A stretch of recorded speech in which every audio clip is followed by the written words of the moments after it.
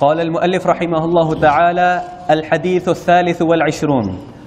عن أبي مالك الحارث بن عاصم الأشعري رضي الله عنه قال قال رسول الله صلى الله عليه وسلم الطهور شطر الإيمان والحمد لله تملأ الميزان وسبحان الله والحمد لله تملأان أو تملأ ما بين السماوات والأرض والصلاة نور والصدقة برهان والصبر ضياء والقرآن حجة لك أو عليك كل الناس يغدو فبائع نفسه فمعتقها أو موبقها. رواه مسلم. أحسنت.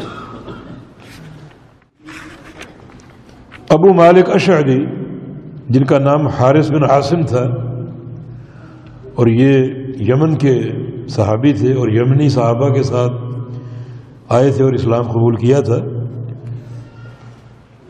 یہ اس حدیث کے راوی ہیں۔ فرماتے ہیں کہ رسول اللہ صلی اللہ علیہ وسلم نے ارشاد فرمایا، الطہور شطر الایمان۔ طہور یعنی پاکیزگی، آدھا ایمان۔ پاک رہنا اور پاک ہو کر رہنا، یہ آدھا ایمان ہے۔ طہارت یعنی طہارت کو آدھا ایمان کہا گیا ہے۔ بعض لوگ ترجمہ کرتے ہیں، صفائی نصف ایمان ہے، یہ اس کا ترجمہ نہیں بنتا۔ صفائی اور شے ہے اور طہارت اور شے ہے۔ تو طہارت ہی نہیں، وضو۔ وضو بھی طہارت کا ایک ذریعہ ہے غسل۔ بعض اوقات ایک انسان کو یعنی حدث لائق ہوتا ہے، حدث اصغر۔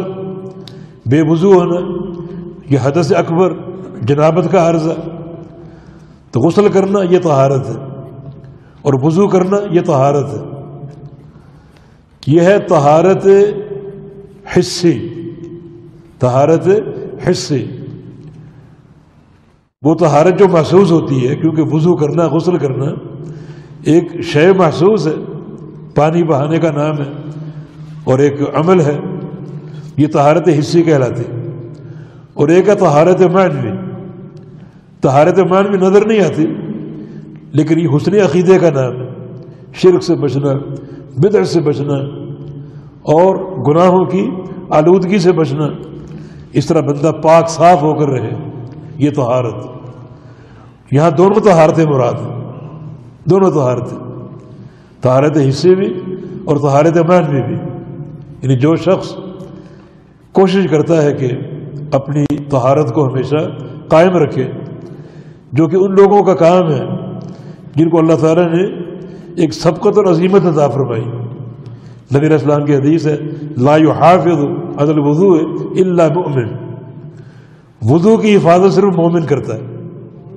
وضو کی حفاظت صرف مومن کرتا ہے۔ اور یہ حفاظت یقیناً ایک بڑا افضل عمل ہے۔ آپ نے بلال سے پوچھا تھا بیما سبقتا نہیں رہے جنت کہ تم جنت میں مجھ سے آگے کیسے؟ اور ایک حدیث میں کہ انی سمیت خشبت علیہ کا پھر جنت میں نے جنت میں تمہارے قدموں کی آہٹ سنی۔ تمہارے قدموں کی آہٹ سنی۔ تمہیں یہ مقام کیسے مل گیا؟ تو بلال نے عرض کیا کہ باقی تو سارے کام وہی جو سب کرتے ہیں۔ لیکن ایک کام پر میری بڑی توجہ ہے کہ جب بھی بے وضو ہوتا ہوں، وضو کر لیتا ہوں۔ جب بھی بے وضو ہوتا ہوں، وضو کر لیتا ہوں۔ اور جب بھی وضو کرتا ہوں، تو اللہ جو توفیق دے، وہ نفل پڑھ لیتا ہوں۔ دو، چار، جو اللہ توفیق دے، وہ نفل ادا کر تحیت الوضو۔ اس عمل پر ان میری پوری پابندی اور بڑی یکسوئی اور توجہ سے یہ کام کرتا ہوں۔ یہ طہارت حصی ہے۔ حصی طہارت، جس کی حفاظت یقیناً ایک مومن کرتا ہے۔ اور پاک صاف رہنے کی کوشش کرتا ہے اور طہارت مان بھی کیا ہے؟ حسن عقیدہ، شرک سے بچنا، بدعت سے بچنا، بد عقیدگی سے بچنا، ایمان کا نور اپنے اندر پیدا کرنا، تو یہ طہارت مان بھی۔ اور نبی علیہ السلام کو یہ فرمان اتہور شطر الایمان، کہ طہارت آدھا ایمان ہے، یہ یقیناً دونوں طہارتوں کو شامل اور وجہ یہ ہے کہ دین کے دو شعبے ہیں۔ ایک شعبہ ہے محرمات کا، جن سے بچاؤ ضروری، اور ایک شعبہ حلال امور کا، جن کو اختیار کرنا ضروری۔ جب طہارت معنوی آپ نے اپنا لی، محرمات سے بچ گئے، شرک سے بچ گئے بدر سے بچ گئے، اور گناہوں کی آلودگی سے اپنے آپ کو بچائے رکھا، تو یہ ایک شعبہ آپ کا پورا ہو گیا، محرمات سے اجتناب کا۔ یعنی آدھا دین ہو گیا اور باقی آدھا دین حلال امور کو اختیار کرنے کا، واجبات کو اپنانے کا، نماز ہے، روزہ ہے، حج عمر اور زکوٰۃ وغیرہ۔ تو باقی آدھا دین باقی بچا۔ تو اس طرح یہ آدھا دین ہے، یہ طہارت، تطہر۔ تو طہر یا تو حصی ہے یا معنوی۔ اور یہ حدیث دونوں طہارتوں کو شامل۔ الحمد للہ تملا المیزان۔ الحمد للہ اللہ کے میزان کو بھر دے گا۔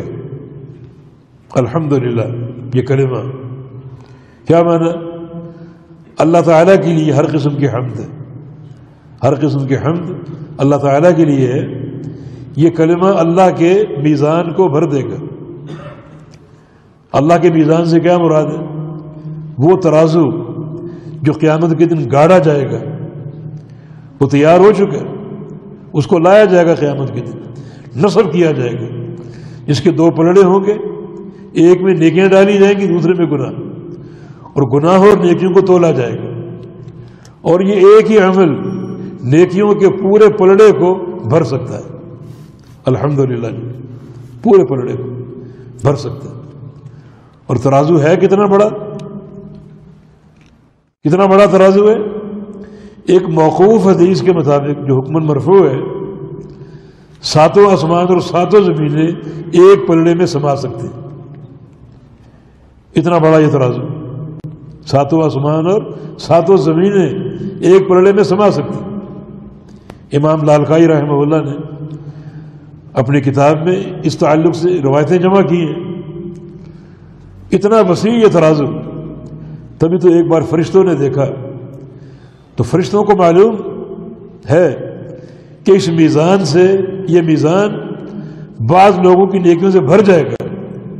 تو بڑا تعجب سے پوچھا کہ یا اللہ، ایسے بندے ہو سکتے ہیں جن کی نیکیاں اس میزان کو بھر دیں؟ یعنی آپ آسمان کو دیکھیں اور تھوڑا سا تصور میں لائیں یہ بات۔ یہ آسمان صرف ایک ہی آسمان کو لے لیں۔ کوئی بندہ ایسا ہو سکتا ہے جس کی نیکیاں اتنی ہوں کہ آسمان بھر جائے۔ یہ ترازو ساتوں آسمانوں کو اپنے اندر سمو سکتا ہے اور ساتوں زمینوں کو سمو سکتا ہے۔ اتنا وسیع یہ ترازو۔ اللہ پاک فرمایا کہ ہاں لمن تو میرے عبادی۔ میرے بہت سے بندے جن کی نیکیوں سے پورا میزان بھر جائے گا۔ جن کا میں چاہوں، جن کو میں توفیق دوں۔ تو فرشتوں نے کہا کہ ماں بدنا کا حق کا عبادت کا پھر ہم تو تیری عبادت کا حق ادا نہیں کر سکے۔ یعنی صدیوں عبادت کرنے والے فرشتے۔ یہ سمجھ رہے ہیں کہ ہماری صدیوں کی عبادت بھی اس میزان کو نہیں بھر سکتی۔ لیکن یہ عقیدے کی برکت کہ الحمد للہ تملا المیزان۔ میزان کو بھر دے گا۔ لیکن کیسے؟ خالی الحمدللہ کہنے سے میزان بھر جائے گا؟ دیکھیں، ایک تو یہ کہ حمد تین چیزوں کا نام ہے۔ زبان سے حمد کرنا، زبان سے اللہ تعالیٰ کی تعریف کرتے رہنا۔ ان اللہ یردا عن العبد اذا اکلا اکلتا فحمد اللہ وَإِذَا شَرَبَ شَرْبَةً فَحَمِدَ اللہ۔ اللہ اس بندے سے خوش ہوتا ہے، راضی ہوتا ہے۔ ایک لقمہ کھانے کا کھایا تو الحمدللہ کہا، ایک پانی کا گھونٹ پیا تو الحمدللہ کہا۔ یہ حمد زبان سے۔ دوسرا، حمد دل سے۔ دل سے حمد یہ ہے کہ یہ عقیدہ ہو، جتنی بھی نعمتیں اس کائنات میں موجود ہیں، وہ اللہ کی پیدا کردہ ہے اور اللہ کی عطا کردہ ہے کوئی ایک ذرہ بھی غیر اللہ نے پیدا نہیں کیا۔ کسی قبر والے نے، درگاہ والے نے، کسی بت نے، حجر یا شجر نے یا کسی اجمیر کی سرکار نے، یا کسی لاہور کی سرکار نے ایک ذرہ بھی پیدا نہیں کیا۔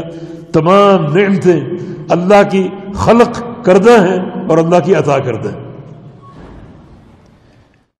صرف ایک بارش کی نعمت کو غیر اللہ کی طرف منسوخ کرنے والے اللہ کے پیغمبر نے فرمایا، وادی کفر میں داخل ہو گئے ہمارے عقیدے کہاں گئے؟ ہم چن چن کر اللہ کی نعمتوں کو غیر اللہ کے نام منسوخ کر رہے ہیں۔ اولاد فلاں دیتا ہے، شفا فلاں دیتا ہے، کھانا فلاں دیتا ہے، مشکل فلاں ٹالتا ہے، دستگیری فلاں کرتا ہے۔ ایک ایک نعمت ہم نے چن چن کر غیر اللہ کا نام اراٹ کر دی۔ کتنے گندے عقیدے اور کتنی نحوست ہے، یہ سیاہی اور تاریخی ہمارے ملکوں پر چھائی ہوئی۔ پھر اللہ کیسے راضی ہے؟ کیسے راضی ہے؟ اور اس کماش کے لوگ یہ کہتے ہیں کہ ہم حق پر ہیں اور ہماری تعداد نبے فیصد ہے۔ اللہ کے بندو، جس ملک میں نبے فیصد حق والے ہوں، اس ملک پر تو آسمان سے سونا برسنا چاہیے۔ پھر یہ نحوستے کہاں سے آ گئے یہ فتنے، یہ فسادات، ہر بچہ لاکھوں روپے کا مخروض پیدا ہو رہا ہے۔ یہ کہاں سے آ گیا سب یہ؟ تو الحمدللہ اس منزل کو پہچانو۔ یہ خالی کلمہ دہرانا نہیں ہے، تلفظ کا نام نہیں ہے، حمد۔ ہر قسم کی حمد اللہ کے لیے۔ کیا معنی ہے اس کا؟ اس کا معنی یہ ہے کہ اللہ تعالیٰ ہی ہر حمد کا مستحق ہے۔ کیوں؟ اس لیے کہ اللہ تعالیٰ ہی کے لیے ہر طرح کا کمال ہے۔ اپنی ذات میں اپنی صفات میں، اپنے سارے افعال میں، وہ اکیلا ہے اور اس کو کمال حاصل وحدہ لا شریک کرو اور اس کو کمال حاصل ہے، اس لیے وہ ہر قسم کی حمد کا مستحق ہے۔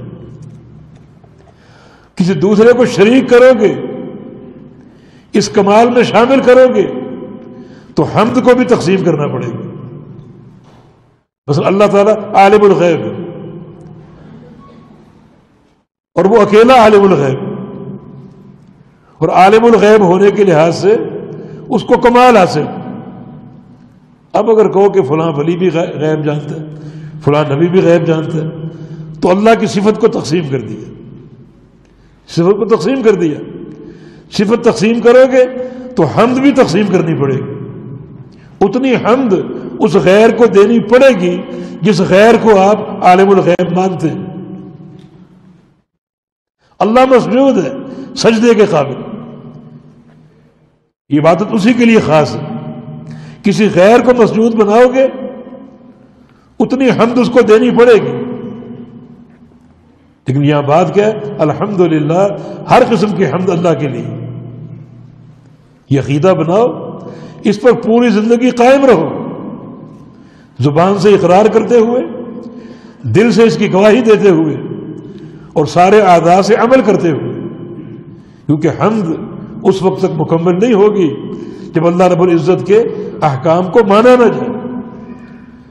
اس طرح پوری حمد جب ایک انسان کو حاصل ہو گئی، تو اس کی ایک ہی یہ نیکی اللہ کے میزان کو بھر دے گی۔ الحمد للہ تملا المیزان۔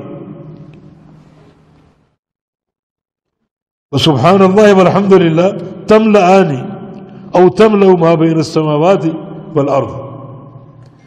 یہ پورا کلمہ سبحان اللہ والحمد للہ سبحان اللہ کلمہ تنظیح ہے کہ اللہ ہر عیب سے پاک ہے. الحمد للہ یہ کلمہ اللہ رب العزت کی شان کا اس بات کر رہا ہے اور اس کے کمال مطلق کی گواہی دے رہا ہے کہ ہر قسم کی حمد اللہ تعالیٰ کے لیے ہے، کیونکہ اللہ تعالیٰ ہی اپنی ذات اور صفات میں اکیلا ہے، یکتا ہے اور کوئی اس کا شریک نہیں۔ اور اس کی تمام صفات، تمام افعال جو ہیں، وہ کمال کی لہذا وہ کمال، حمد کا مستحق ہے۔ فرما کہ یہ دونوں کلمے بھر دیں گے۔ یعنی تملا بھی ٹھیک ہے اور تملان بھی ٹھیک ہے۔ رابی کو شک ہے کہ اللہ کے پیغمبر نے کون سا لفظ استعمال کیا، معنی ایک ہی ہے بھر دیں گے آسمانوں اور زمینوں کے درمیان جو خلا ہے۔ اسماوت آسمان آسمان اور زمین۔ کتنا خلا ہے؟ یعنی زمین سے آسمان تک پانچ سو سال کی مسافت کا فاصلہ۔ پہلے آسمان کا موٹاپا بھی اتنا ہی ہے، پانچ سو سال کی مسافت کے وقت۔ آسمان اول سے آسمان دوم تک پانچ سو سال کی مسافت۔ پھر دوسرے آسمان کا موٹاپا بھی پانچ سو سال کا۔ اس طرح ساتویں آسمان۔ ساتویں آسمان سے لے کر زمین تک جو خلا ہے سبحان اللہ بالحمد للہ سے بھر سکتا لیکن عقیدت و عمل خالی تلفظ کی بات نہیں ہے۔ تم انسان ہو اس عقیدے کا حاملین۔ تم توتے نہیں ہو کہ چوری چوری کرتے رہو اور پتہ نہ ہو چوری کیا چیز۔ الحمد للہ کہو، سبحان اللہ کہو، اور پتہ نہ ہو الحمد للہ کیا ہے اور سبحان اللہ کیا ہے۔ یہ پورا منہج ہے۔ دستور حیات ہے۔ عقیدے کی اساس ہے۔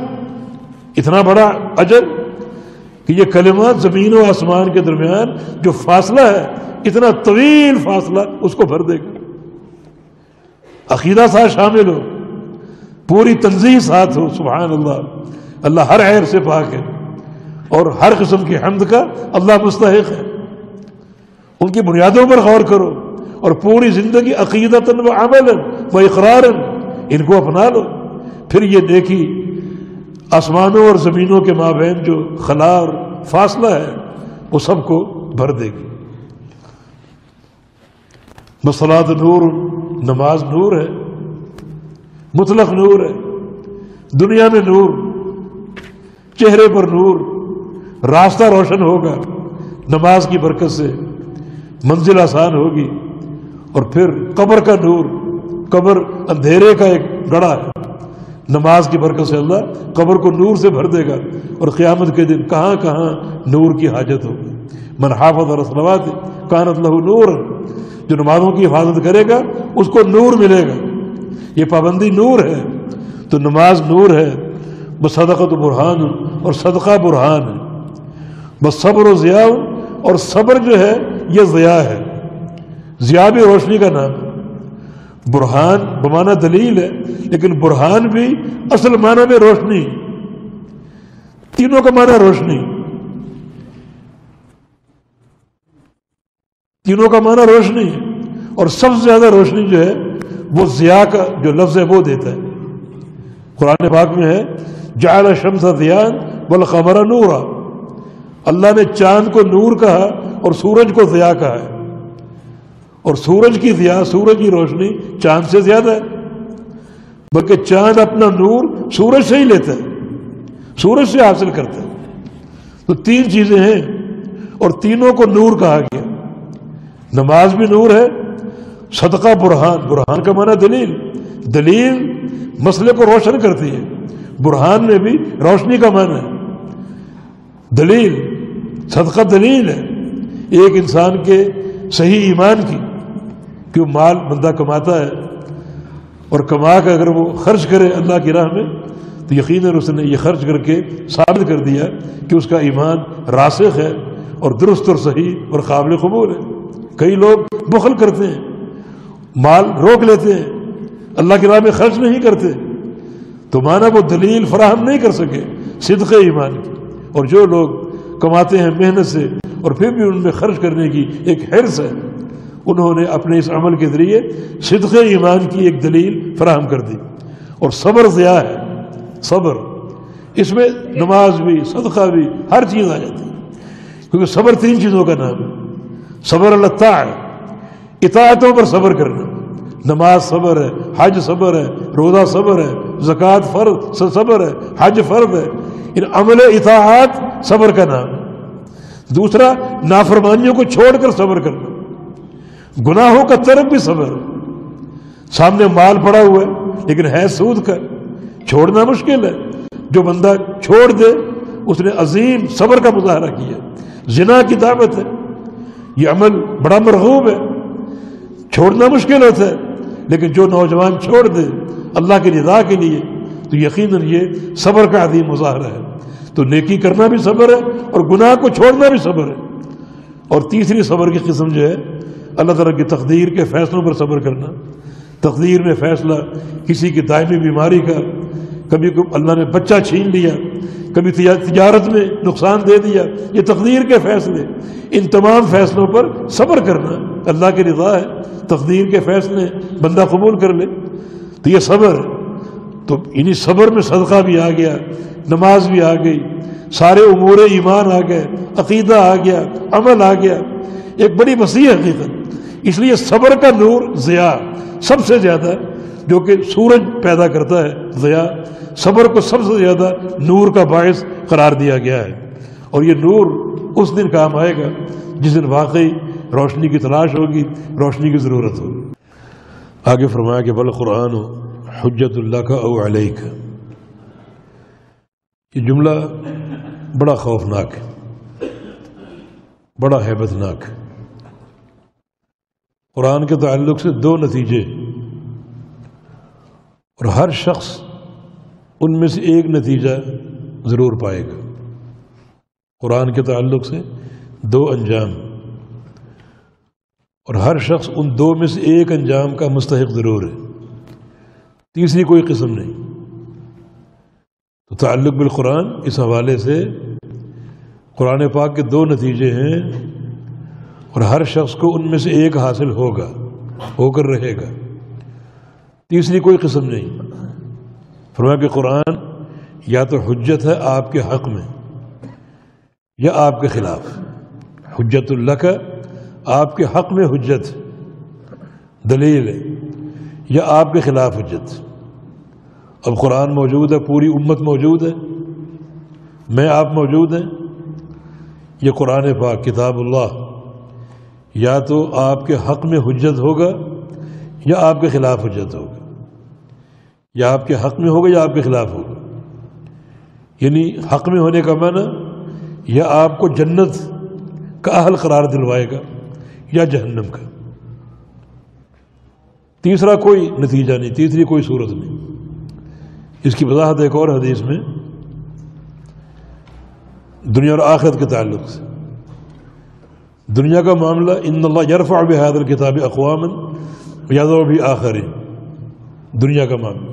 اللہ تعالیٰ اس قرآن کے ذریعے قوموں کو ترقی بھی دیتا ہے، عروج بھی دیتا ہے اور ذلیل بھی کرتا ہے۔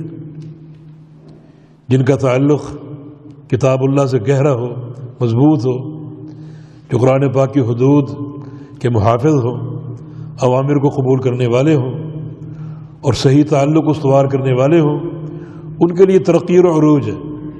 اور جو قرآن کو پس پش ڈال دیں اور اس کا اہتمام نہ کریں، نہ پڑھنے کی ضرورت، نہ عمل کرنے کی ضرورت، نہ فہم اور تدبر کی ضرورت، تو پھر یہ قرآن ان لوگوں کی ذلت کا باعث ہوگا، شکست و ریخت کا باعث ہوگا۔ یہ دنیا کے دو نتیجے، قرآن کے تعلق سے لامحالہ حاصل ہوں گے، کسی کو ترقی ملے گی اور کسی کو ذلت اور پستی ملے گی۔ اور جہاں تک قیامت کا تعلق ہے، تو قرآن کے یہی دو نتیجے قیامت کے دن میں ظاہر ہوں گے۔ رسول اللہ علیہ وسلم کا فرمان ہے، من جعل القرآن امام ہو یقود ہو ادھر جنت من جعل القرآن امام ہو یقود ہو ادھر جنت و من جعل القرآن خلف ہو یسوق ہو ادھر نار جو شخص قرآن کو آگے رکھے گا اور خود پیچھے ہو گیا، پیچھے پیچھے چلے گا مانا پوری طرح قرآن اپنے اوپر نافذ کیا۔ قرآن آگے آگے، خود پیچھے پیچھے۔ اپنی خواہشات کو، پسند و ناپسند کو قرآن کے تابع کر دیا۔ قرآن کے سامنے جھکا دیا۔ تو یہ قرآن اس کی قیادت کرے گا جنت کے داخلے تک۔ ساتھ دے گا اس کا اقرا القرآن فعن یوم القیامہ شفیع صاحب قرآن پڑھا کرو، یہ قیامت کے دن اپنے پڑھنے والوں کی سفارش کرے گا۔ یہ پہلا نتیجہ دوسرا انجام کیا ہے؟ پمن جاد القرآن خلف ہو جو قرآن کو پیچھے ڈال لے۔ اپنے آپ کو آگے کر لیا، قرآن کو پیچھے کر لیا۔ یہ ہو ادندار تو یہ قرآن اس کو ہانکے گا۔ ہانکتا ہوا جہنم میں ڈال دے گا۔ ہانکتا ہوا۔ اس کو لے جائے گا اور جہنم میں پھینک دے گا۔ تو وہی بات بل قرآن حجت اللہ کا او علیک آپ کے حق میں حجت ہو سکتی، یہ کتاب اللہ، یا آپ کے خلاف۔ تیسری کوئی صورت نہیں۔ اب یہ ایک آئینہ ہر شخص کو دکھا دیا گیا۔ ہر شخص دیکھے قرآن موجود ہے، ہم بھی موجود ہیں۔ اپنے تعلق بالقرآن کو چیک کریں۔ اس آئینے میں اپنا منہ دیکھیں۔ ہم کہاں نظر آ رہے ہیں؟ کہاں فٹ ہو رہے تو جو قرآن پڑھے گا، اس کے حقوق ادا کرے گا، فہم اور تدبر، عمل اور اس کی حدود پر ٹھہرنا اور صبر کرنا وغیرہ وغیرہ، یہ قرآن اس کے لیے حجت بن جائے گا اور جنت کے داخلے کا باعث ہو جائے گا۔ اور جو قرآن کو پسے پش ڈال دیا، کوئی تعلق ہی نہیں، کوئی اہتمام ہی نہیں، کبھی کبھی نکالنا ہے، ورنہ جزدان میں سجا کر اوپر رکھ دو۔ یہ اس کا تقدس کبھی کبھی اتارو، کبھی اٹھانا پڑے، سر پہ قسم کھانی پڑے۔ یہ بہو بیٹی کو رخصت کرنا ہے تو قرآن کے سائے میں رخصت کرو۔ یہ کون سا تعلق ہے؟ تو یہ یہ جملہ بڑا حیبت ناک ہے۔ ہر شخص کو غور کی دعوت دیتے اور دوسرا جملہ، اس سے بھی خطرناک ہے۔ فرمایا، کل الناس یغدو فبائع نفسه فمعتقها او موبقها۔ کل الناس، تمام لوگ، ہر شخص یغدو، صبح کو گھر سے نکلتا ہے۔ غدا یغدو غدوون صبح کو گھر سے نکلنا۔ ایک راہ یا روح، شام کو نکلنا یا لوٹنا۔ روح، نبی علیہ السلام کی حدیث ہے غدوت اور روحت فی سبیل اللہ، خیر من دنیا و معافی ہے صبح نکلنا گھر سے یا شام کو نکلنا، جہاد فی سبیل اللہ کے لیے پوری دنیا بمافی ہا سے بہتر۔ تو غدوہ کا معنی صبح کو گھر سے نکلنا۔ فرمایا کہ تمام لوگ صبح گھر سے نکلتے ہیں فبائع نفسہ ہو اور اپنے نفس کو بیچتے ہیں۔ اپنے نفس کو بیچتے ہیں اور وہ بیچنا اس کی دو قیمتیں ہیں۔